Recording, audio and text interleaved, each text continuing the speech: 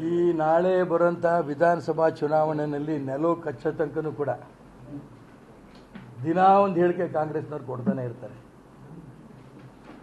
ಅವರಿಗೆ ಜೀವನದಲ್ಲಿ ಹೋರಾಟ ಮಾಡಿ ಗೊತ್ತಿಲ್ಲ.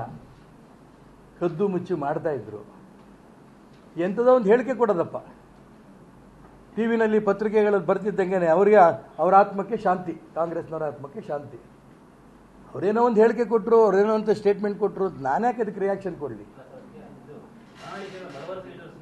ನಾನು ಹೇಳ್ತೀನಲ್ಲ, ಏನಾಗಿದೆ, ಏನಾಗಿಲ್ಲ. ಈಗ ಪ್ರತಿ ಬಾರಿ ಸಾರ್ವಜನಿಕ ಸಭೆಯಲ್ಲಿ, ಮೊನ್ನೆ ವಿಧಾನ ಪರಿಷತ್, ವಿಧಾನಸಭೆಯಲ್ಲೂ ಕೂಡ ಮಾನ್ಯ ಮುಖ್ಯಮಂತ್ರಿಗಳಿಗೆ ನಾನು ಕೇಳಿದೆ, ಹಿಂದಿನ ಮುಖ್ಯಮಂತ್ರಿಗಳಿಗೆ. ಅದೇನೋ ನೂರ ಐವತ್ತು ನಾವು ಗುರಿ ಇಟ್ಕೊಂಡಿದ್ವಿ. ಈಗಾಗಲೇ ತೊಂಬತ್ತು ಪರ್ಸೆಂಟ್ ಮುಗಿಸ್ಬಿಟ್ವಿ ಕೊನೆ ತನಕನು ಅಂತ ಹೇಳ್ತಾ ಇದ್ರಿ. ಆ ನೂರೈವತ್ತು ಗುರಿ ಇಟ್ಕೊಂಡಂಥ ಯೋಜನೆಗಳು ಯಾವುದು?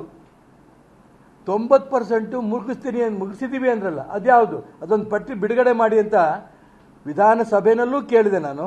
ಅದಕ್ಕೆ ಇವತ್ತಿನ ತನಕನೂ ಉತ್ತರ ಬಂದಿಲ್ಲ.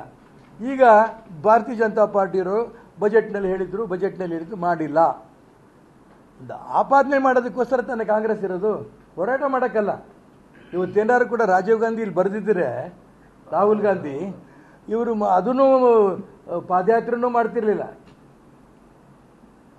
ಯಾಕೆಂತಂದ್ರೆ ಅವರಿಗೆ ಚುನಾವಣೆ ಬಂದಂಥ ಸಂದರ್ಭದಲ್ಲಿ ನನ್ನ ಕಡೆಯವರು ಸೀಟ್ ಜಾಸ್ತಿ ಕೊಡಬೇಕು ನನ್ನ ಕಡೆಯವ್ರನ್ನ ಮಂತ್ರಿ ಮಾಡಬೇಕು ಅನ್ನೋ ಕಲ್ಪನೆಯಲ್ಲಿದ್ದಾರೆ.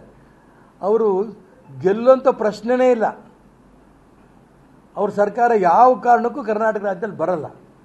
ಅದಕ್ಕೋಸ್ಕರ ಅವ್ರು ದಿನ ಒಂದು ಏನೋ ಒಂದು ಹೇಳಿಕೆ ಕೊಡ್ತಾರೆ. ಆ ಹೇಳಿಕೆಗೆ ನಾವು ಉತ್ತರ ಕೊಡಬೇಕು. ಆ ಹೇಳಿಕೆ ಏನಾದ್ರು ಕೊಡಲಿ ಅಂತ ನೀವು ಕಾಯ್ತಿರ್ತೀರಿ. ಅದಕ್ಕೆ ನಾವು ಉತ್ತರನೂ ಕೊಡಬೇಕು ಅಂತ ನೀವು ನಿರೀ ನಿರೀಕ್ಷೆ ಮಾಡ್ತೀರಿ. ಹಾಗಾಗಿ ನಾನು ಅದಕ್ಕೋಸ್ಕರ ಹೇಳ್ತೀನಲ್ಲ, ಆ ಯಾವುದೇ ಅವರ ಹೇಳಿಕೆಗೆ ಏನೂ ಬೆಲೆ ಇಲ್ಲದೆ ಇರೋಂಥ ಈ ಸಂದರ್ಭದಲ್ಲಿ ನಾನು ಅದಕ್ಕೆ ಉತ್ತರ ಕೊಡೋಕ್ಕೆ ಇಷ್ಟಪಡಲ್ಲ.